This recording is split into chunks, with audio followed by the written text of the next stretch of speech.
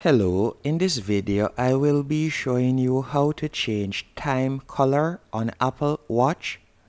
The first thing you want to do is simply press down on your current wallpaper on your Apple Watch.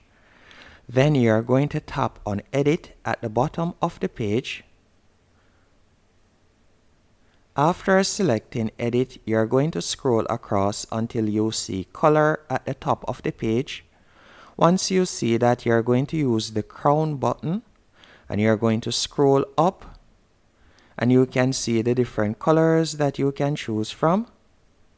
And once you have found a color to your liking, you can simply tap on the crown button again.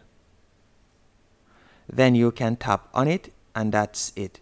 That's the most you can do as you cannot change anything else, any form of color otherwise. Hope you found this video helpful and informative.